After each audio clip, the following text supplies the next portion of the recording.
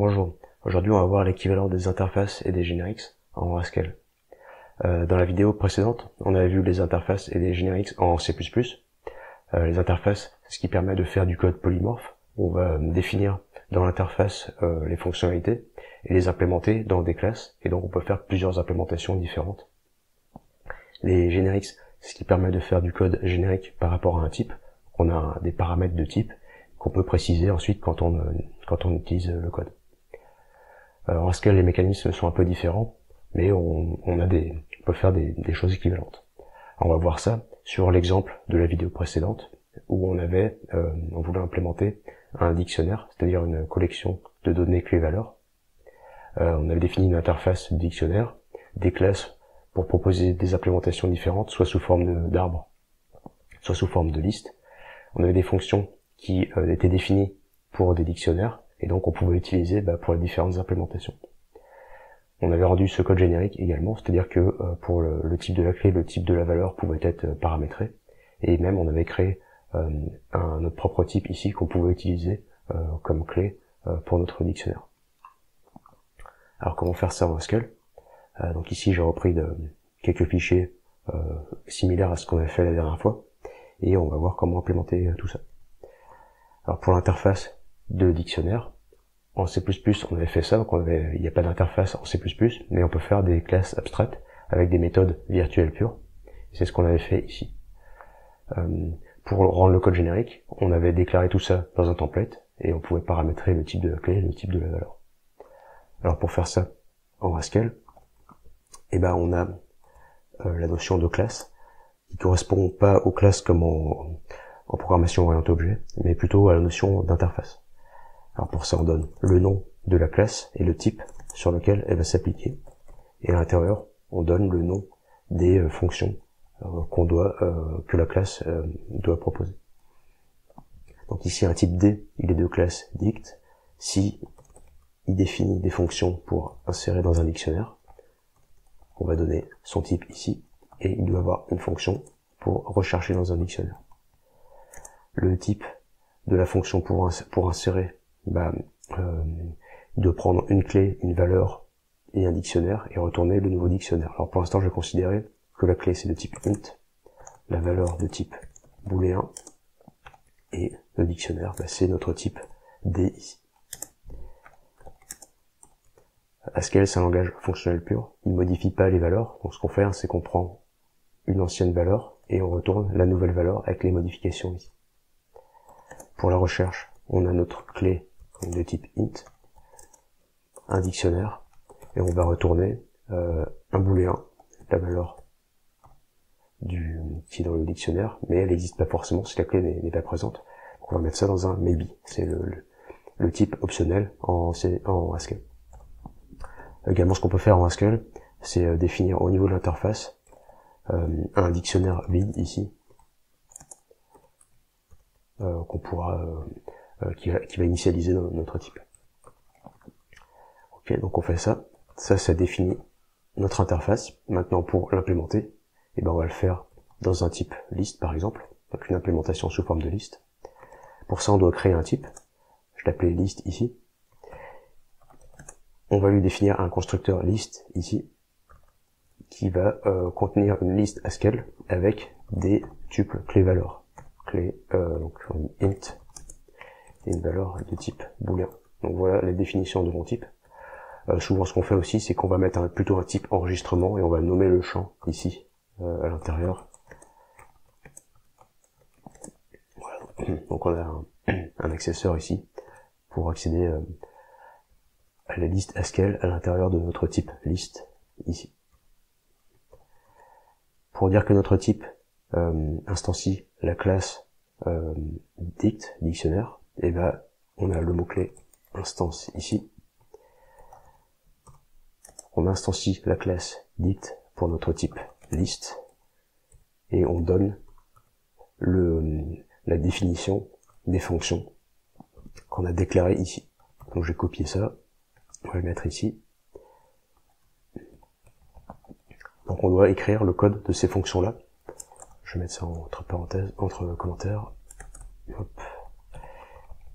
Et ici, notre type, c'est plus D, c'est liste. Donc on doit écrire des fonctions qui ont cette signature-là. Alors pour créer une nouvelle liste, bah, ça va être tout simplement une nouvelle liste, et la liste Haskell qui est à l'intérieur, bah, elle est vide initialement. On n'a rien. Je vais y arriver. On n'a rien dans notre, dans notre dictionnaire. Pour l'insertion,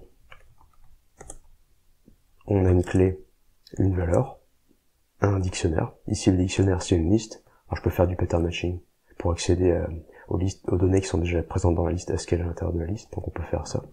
Liste. Et la liste à l'intérieur, bah, c'est des clés valeurs. Je vais appeler ça comme ça.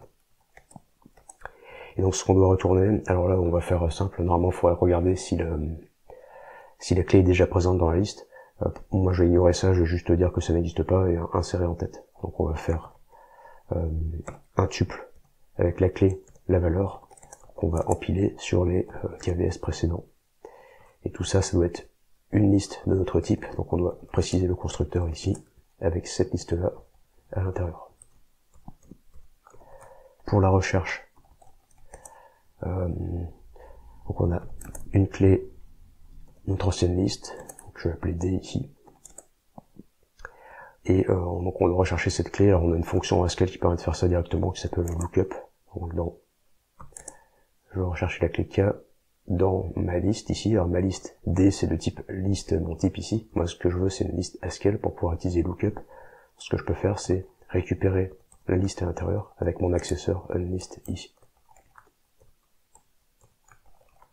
Voilà, donc on a défini notre type liste, on a instancié le dictionnaire, et donc on doit pouvoir l'utiliser maintenant dans un programme.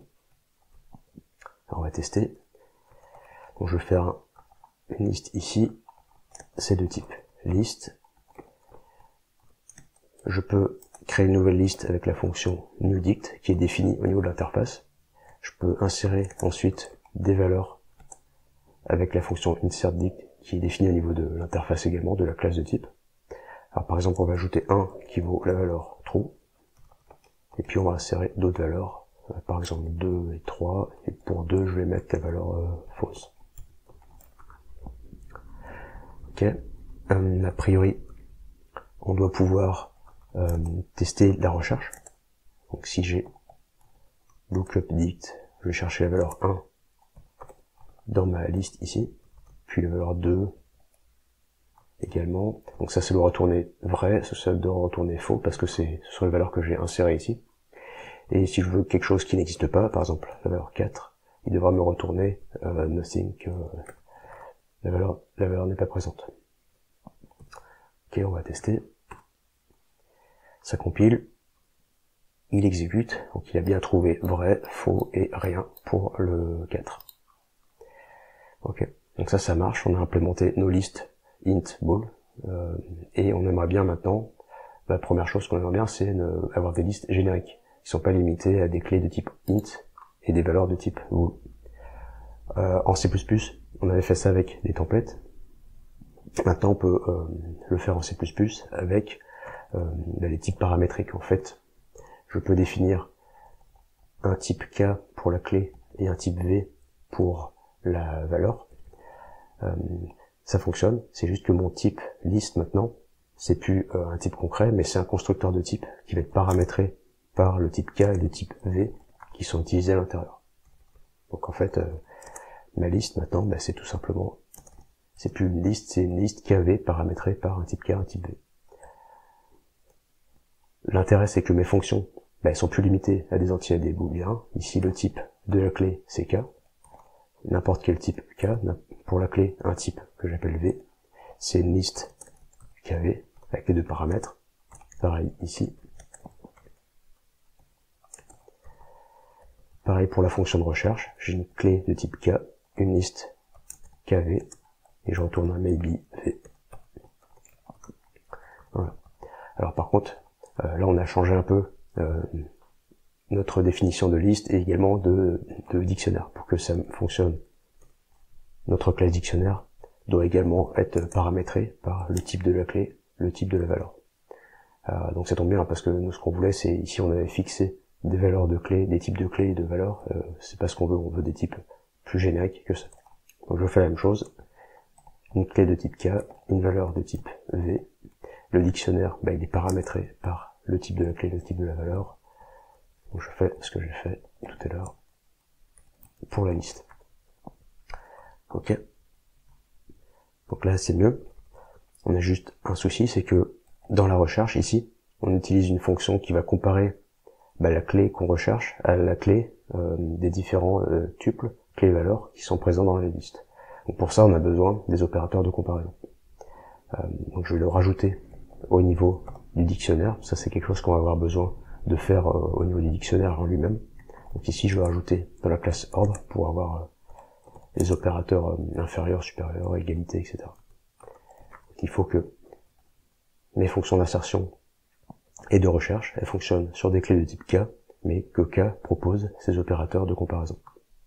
Et donc là, ça fonctionne maintenant au niveau de la liste. Qu'est-ce que ça change au niveau du main? Bah, Notre liste, c'est plus une liste, c'est une liste avec deux paramètres de type qu'il faut préciser, comme euh, ce qu'on avait fait avec les templates en Haskell. On avait déclaré, puis après on précisait les types qu'on voulait. Donc ici, c'est une liste int bool. Et là, normalement, bah, ça devrait fonctionner comme tout à l'heure, sauf que on peut euh, on peut utiliser notre code pour d'autres types ici. Alors, on va le faire.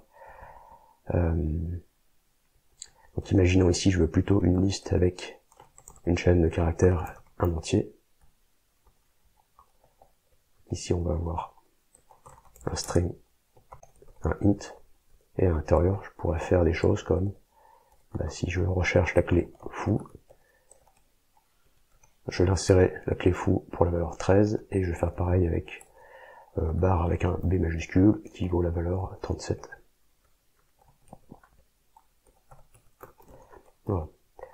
Donc là, cette fois, toujours le même type de liste. Ici, je l'ai utilisé avec int bool comme paramètre, et ici, string int comme paramètre de type pour la clé et pour la valeur. Je vais tester aussi.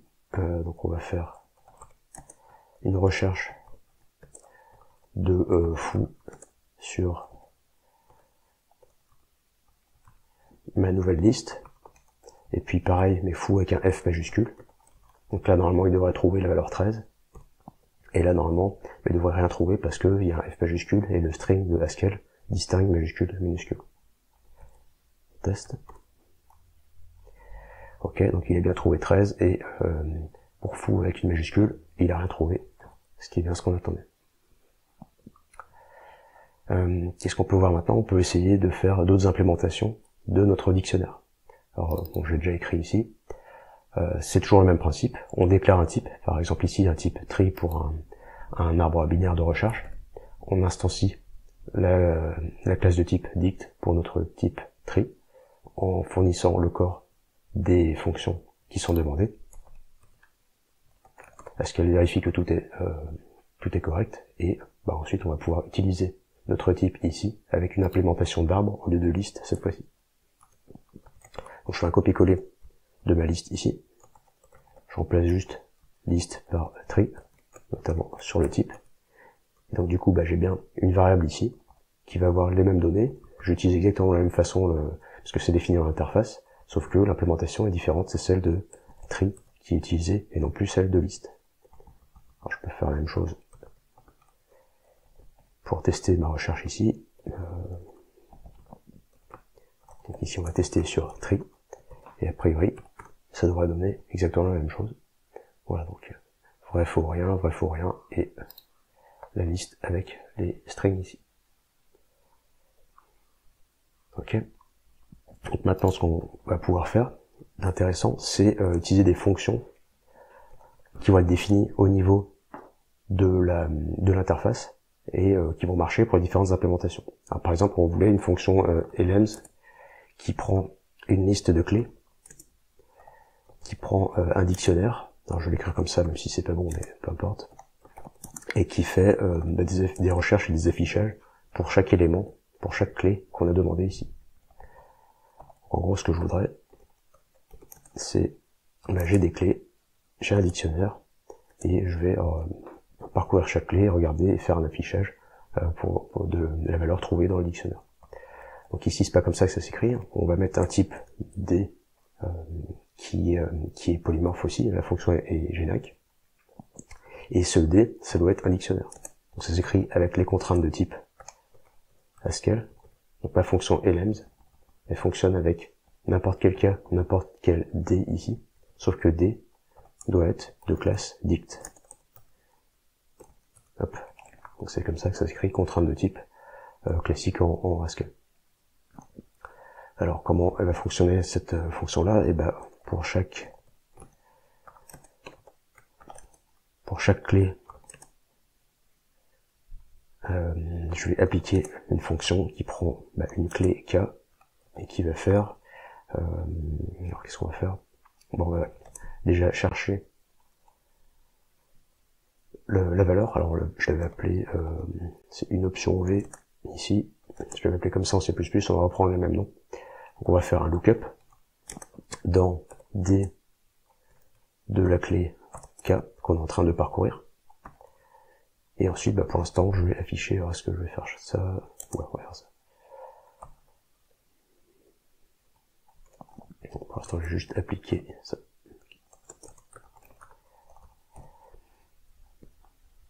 Ok. Alors donc, qu'est-ce qu'il nous dit ici?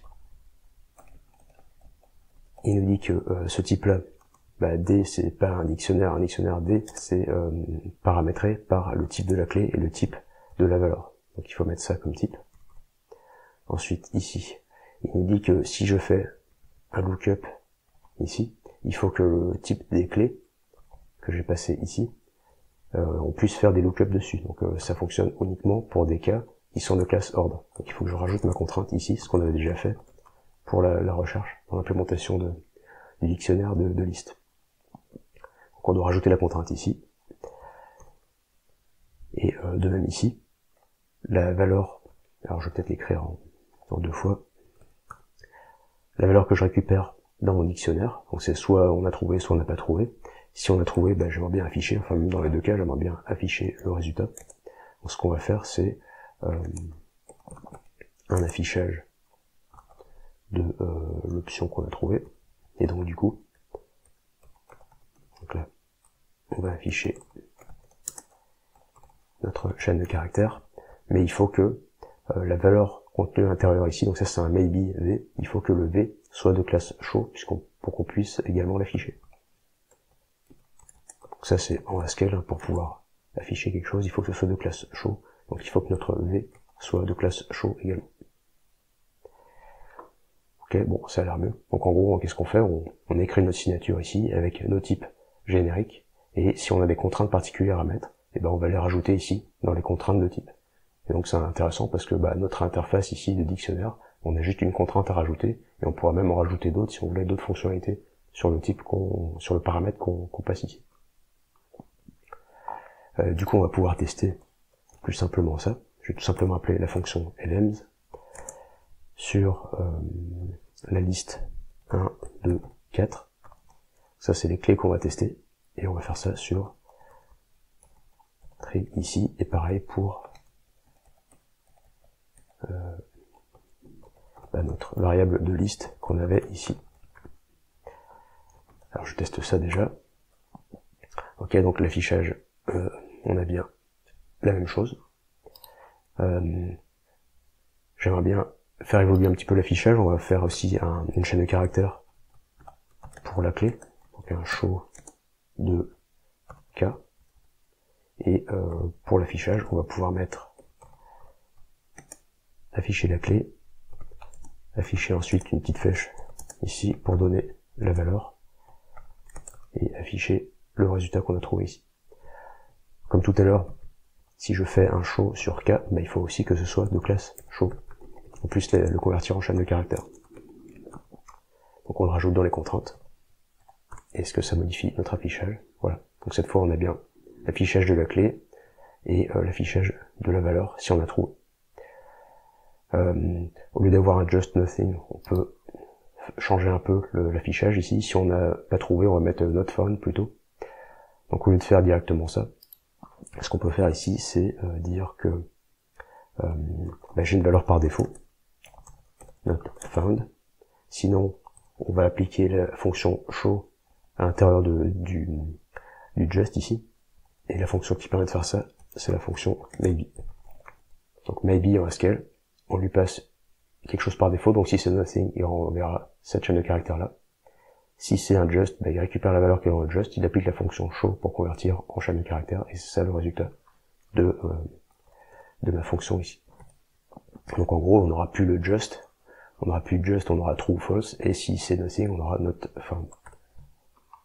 Ici, true false, not found. Ok. Euh, on avait vu euh, en C++ que bah, on pouvait euh, euh, faire un affichage plus personnalisé. Par exemple, j'aimerais bien avoir true false en minuscule, et puis, puis quoi d'autre? Bah, On peut tester aussi. Sur le sur la dernière variable ici qu'on avait, donc une liste string int, tester foo et puis foo avec un F majuscule. Donc c'est euh, list string int et l'affichage ici des chaînes de caractères. Voilà, il n'est pas merveilleux, on aimerait bien supprimer les guillemets de l'affichage par défaut. Pour ça, on va redéfinir, au lieu d'utiliser show directement, on peut redéfinir notre propre classe d'affichage personnalisé. Je vais appeler ça myShow, donc pour la clé et pour la valeur. Et la fonction qu'on va mettre dans cette classe-là, elle s'appellera myShow également, en minuscule ici. Donc on peut définir cette classe de type avec cette fonction-là à l'intérieur, et on l'instanciera pour les types dont on a besoin. Alors, on va le faire ici. C'est toujours le même principe, on déclare une classe de type myShow pour un type A, ou eh ben on a une fonction myShow dont le type sera on prend une valeur de ce type A, et on doit retourner une chaîne de caractères, en string. Donc on peut faire ça. Si je fais ça, qu'est-ce qui se passe? La déclaration fonctionne, mais on l'instancié pour aucun type pour l'instant. Donc là il dit que int n'est pas de classe myShow, donc je peux pas, euh, je peux pas euh, utiliser ma fonction lm pour un type int. Donc ce qu'il va falloir faire, c'est des instances. myShow pour le type int ou bah, la fonction myShow ça va être bah, la fonction show de Haskell en fait. Donc on pourrait faire ça. Si je fais ça, bah, il m'a résolu la première erreur, il me dit la même chose pour bool et pour string. Mais euh. Euh, ce qu'on peut faire, c'est que cette implémentation là, par défaut, on peut la préciser au niveau de la classe. Donc en gros, la fonction doit exister avec ce type-là. Si on ne la donne pas, eh ben, automatiquement il va utiliser le show de Haskell. Par contre, il faut aussi que le A soit de classe show du coup. Donc on peut rajouter une contrainte de type au niveau de la définition de la classe de type myShow. Et ensuite, je peux faire directement ça. Donc instancier myShow pour int. Pareil pour les booléens et pour les strings. Et donc dans ces trois instances-là, il va utiliser euh, l'instance par défaut, donc le show de Haskell au moins ça va fonctionner, et ça va faire la même chose. Mais l'avantage, c'est que si je veux changer pour les booléens et pour les strings, on va pouvoir le faire. Donc là, pour les int, ça me convient. Pour les booléens, bah, je vais définir ma propre fonction myShow. Alors, ce que je voulais, c'est, si c'est true, envoyer le texte true en minuscule. Si c'est false, renvoyer false en minuscule. Et pour string, bah, je veux pas qu'il fasse un show de, string, juste qu'il renvoie bah, exactement le même string en fait. Donc la fonction c'est plus show, c'est identité. Et si je relance maintenant, j'ai bien true false en minuscule, et ici les, euh, les strings qui sont affichés sans les guillemets autour. Ok, euh, donc qu'est-ce qu'on a encore à rajouter par rapport à l'exemple en C++, on avait l'histoire des euh, ignorer les majuscules minuscules. Donc là, j'ai testé euh, ma clé de type string. ça distingue les majuscules des minuscules. Donc pour le fou en minuscule, il le trouve parce que c'est inséré dans le dictionnaire. Mais fou avec un F majuscule, bah, ça correspond pas à cette clé-là. Donc il dit que ça, n'existe pas. Il me met un autre forme ici. Si je veux ignorer majuscule minuscule, eh ben on peut le faire avec un dictionnaire de notre propre type de, euh, de chaîne de caractères. Alors, donc toujours pareil, on va définir un nouveau type. On va l'appeler LOSTR et ça va être une valeur LOSTR qui contient un string Haskell. Bon, il y a différentes façons d'implémenter, mais de façon simple, on peut faire juste ça. Ok. Et donc du coup, euh, comment on peut faire euh, alors, on peut, Ce qu'on peut faire, c'est qu'on peut faire un constructeur de l'OSTR qui met tout en minuscule, et du coup, la comparaison, le, euh, on pourra récupérer les comparaisons sur des strings, tout, tout aura été euh, converti en, en minuscule. Donc je vais faire un constructeur euh, euh, l'OSTR qui prend un string et qui retourne un LOSTR. La définition, c'est tout simplement bah, de mapper alors, une fonction pour tout mettre en minuscule, pour mettre un caractère minuscule, donc, qui s'appelle toLower. Donc je mappe ça sur tous les éléments de ma chaîne de caractères, et je passe ça au constructeur LOSTR, et bah, du coup c'est bon, j'ai mon constructeur. Donc on peut faire ça, et ensuite on va se laisser guider par le compilateur pour pouvoir utiliser ça dans un mail. Alors typiquement j'aimerais bien pouvoir faire un list string int mais avec mon nouveau type. Donc ici, j'ai juste à remplacer avec euh, str. Pareil ici. Et ici, donc la clé, c'est un str pour que ce soit un string. Qu'est-ce qu'il me dit? Il me dit que bah, la clé que je passe ici, ça doit être un str. Donc je vais utiliser le constructeur que je viens de définir. Hop. Euh, c'est pas ça. Pareil, ici, mk l'ostr, deux barres, et normalement ça fonctionne. Alors, qu'est-ce qu'il dit? Euh, Il dit que mon LOSTR, je l'ai utilisé comme clé de dictionnaire, mais il n'implémente pas la classe orb, qui est demandée par l'interface dictionnaire. Donc effectivement, il faut que mon nouveau type LOSTR implémente la classe orb. Euh, alors en fait, string implémente, implémente déjà la classe orb, donc moi ce que je peux faire, c'est lui demander de récupérer de faire une implémentation par défaut. On va faire ça. Euh, il faut que ça implémente la classe d'égalité, la classe orb. Euh, voilà. Alors est-ce que c'est mieux? Donc là, ça a l'air mieux. Et maintenant, on va pouvoir tester notre fonction euh, générique ici, avec également notre liste l'OSTR c'est celle-ci. La liste de clés qu'on doit chercher, bah, c'est pas des strings, c'est des LOSTR. Donc, comme tout à l'heure, il faudrait construire ici des LOSTR. Alors, ce qu'on peut faire ici, on peut tester un problème qu'on a au niveau de la définition ici. Ici, je peux créer des LOSTR avec mon constructeur ici, c'est ce qu'il faudra faire en vrai, mais rien ne m'empêche d'utiliser ce constructeur-là, et donc de faire un LOSTR d'une chaîne de caractères, et sans euh, convertir en, en minuscule on va le faire ici. C'est-à-dire qu'en fait, je peux faire directement l'OSTR sans passer par le MK l'OSTR. Je passe une parenthèse d'ailleurs. Et pareil pour ici. Et du coup, ben, j'aurais mis des majuscules dans des chaînes de caractères et ça, ça, ça va pas lui plaire. Alors, euh, qu'est-ce qu'on a d'autre comme problème? Alors, comme on utilise la fonction lm, on doit être de classe, le cas doit être de classe MyShow. Pour que ce soit le cas, eh ben, il faut l'instancier, et on l'a pas instancié. Donc effectivement, le compilateur nous dit on peut pas faire ça parce que la classe n'instancie pas MyShow, donc on va le faire. On instancie la classe MyShow pour l'OSTR. On va définir notre propre fonction MyShow. Euh, donc on a ici un l'OSTR avec une chaîne de caractères à l'intérieur, et nous ce qu'on veut c'est juste cette chaîne de caractères on avait rajouté une contrainte de type sur euh, sur MyShow. Il faut que les types soient aussi de classe show pour avoir l'implémentation ou l'affichage par défaut. Alors on va le rajouter ici. C'est un peu c'est un peu technique là, mais euh, c'est pas très important. Et donc voilà, est-ce que ça fonctionne mieux? A priori maintenant il est content. Donc on va tester l'exécution.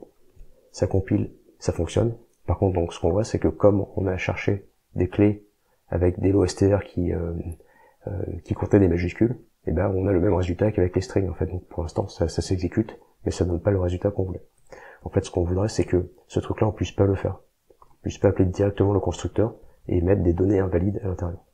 Bah ça on peut le faire en masquant le constructeur par, euh, par valeur ici de l'OSTR. Donc ce qu'on va faire c'est que au lieu de tout exporter le module, on va exporter uniquement les, ce qui est autorisé. ce qui est autorisé c'est le nom du type, l'OSTR, et le constructeur MK euh, l'OSTR ici. Ce qui veut dire que maintenant, le constructeur ici n'est plus exporté, il n'est plus accessible. Si je si j'essaye, il va me dire qu'il y a une erreur dans le main, on peut pas appeler l'OSTR directement. Donc ça, ça tombe bien, c'est exactement ce qu'on veut. Ici maintenant, il faut passer par MK l'OSTR, qui lui va tout convertir en minuscule. On va essayer. Voilà. Et donc on voit bien ici que les deux recherches pour euh, liste euh, l'OSTR int, euh, les clés sont converties en minuscules, et donc il trouve bien le 13 pour chacune des deux clés, même si on a une qui était donnée avec des majuscules initialement. Donc voilà, donc on a l'équivalent des interfaces avec les classes de type ici, on précise leur type, on peut les utiliser dans des fonctions en les rajoutant en contraintes de type. Donc on donne la signature de la fonction et les contraintes de type qui vont bien, notamment celle du dictionnaire. On peut proposer différentes implémentations en instanciant les bonnes classes. Et puis on peut utiliser également nos propres types à nous comme clé, toujours pareil, en vérifiant que euh, les contraintes de type sont correctes, puisqu'on a besoin de certaines fonctionnalités. Donc il suffit juste de préciser les contraintes de type qui apportent ces fonctionnalités. Donc ça, c'est fait. Voilà, donc euh, au final, en Haskell, on a des mécanismes qui sont euh, à peu près équivalents aux interfaces et aux génériques de, euh, de la programmation orientée objet, comme en, C++. Et, et, donc on peut implémenter à peu près la, même chose. C'est tout pour cette vidéo. On verra dans la prochaine comment faire exactement le, comment faire à peu près la même chose, mais avec un autre langage fonctionnel qui est OCaml. Et voilà.